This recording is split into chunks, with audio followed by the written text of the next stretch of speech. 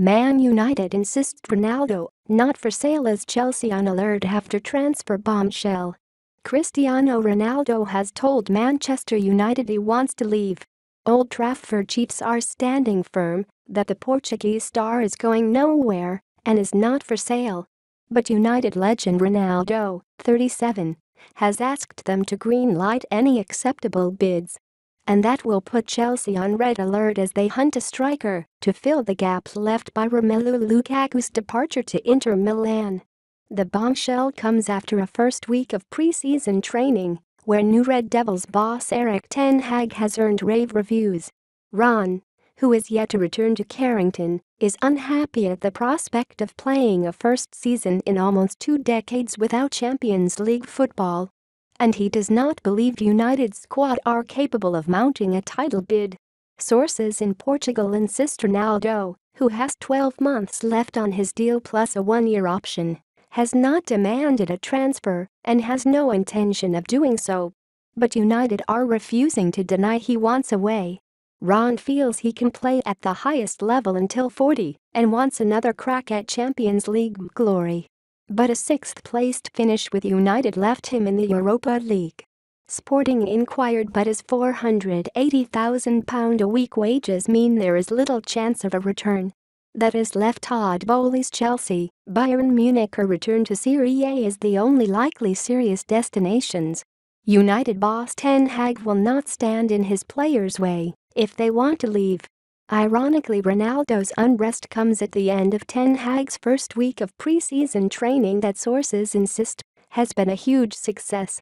Ronaldo's desire to leave United will be music to the ears of their league rivals Chelsea.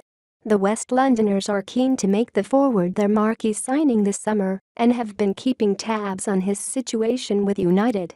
New Blues chief Boehly recently met with Ronaldo's agent, Jorge Mendes, to discuss a host of topics, including a potential move for the sporting icon.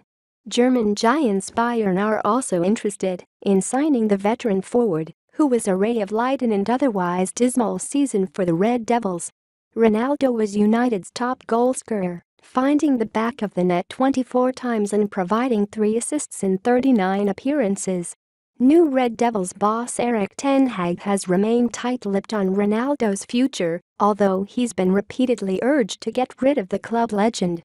Ex-Liverpool defender Jamie Carragher recently said, I'm convinced Ten Hag has got to do it with Ronaldo. I'm convinced. Whether he's allowed to or not, and I've said this consistently through this season, that was not a good signing. Cristiano Ronaldo is one of the greatest players of all time, and I'm seen as the guy that's criticizing Ronaldo.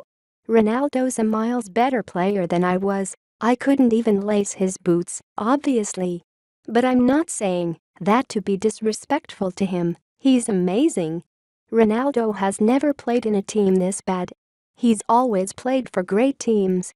His attitude of trying to be the main man, getting the goals, driving people on. When you're in a great team, they're seen as positives.